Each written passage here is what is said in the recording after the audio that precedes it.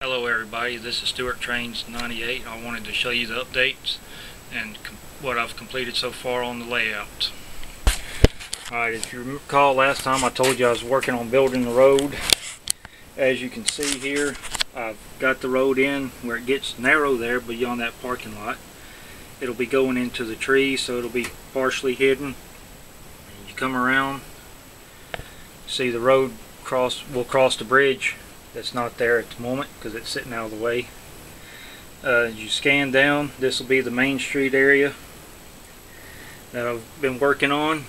And here is where I'm going to stop the road project for now because I haven't got this other track installed.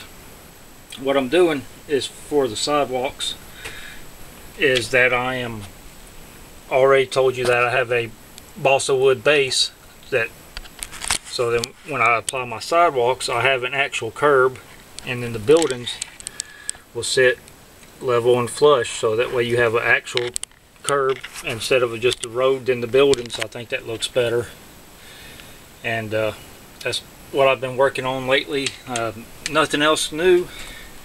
Thought I'd show you what I've been doing. Uh, talk to y'all later. Bye.